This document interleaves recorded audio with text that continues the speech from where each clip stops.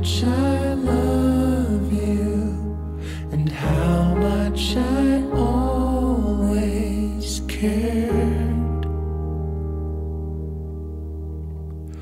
Always remember.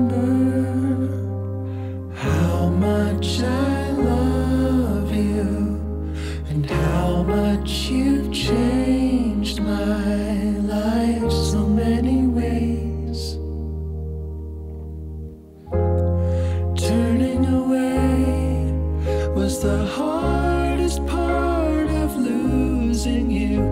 Oh, that overwhelming feeling. You're gone. Oh.